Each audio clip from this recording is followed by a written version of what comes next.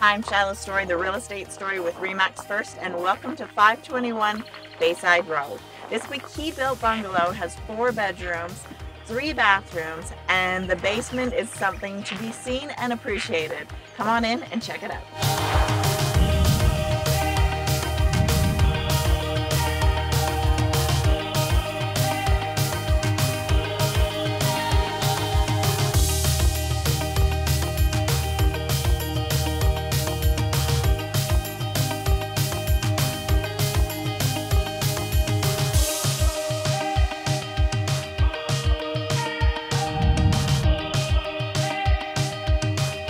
Situated on a quiet street in Bayside Estates with some of the best neighbors, this one won't last long.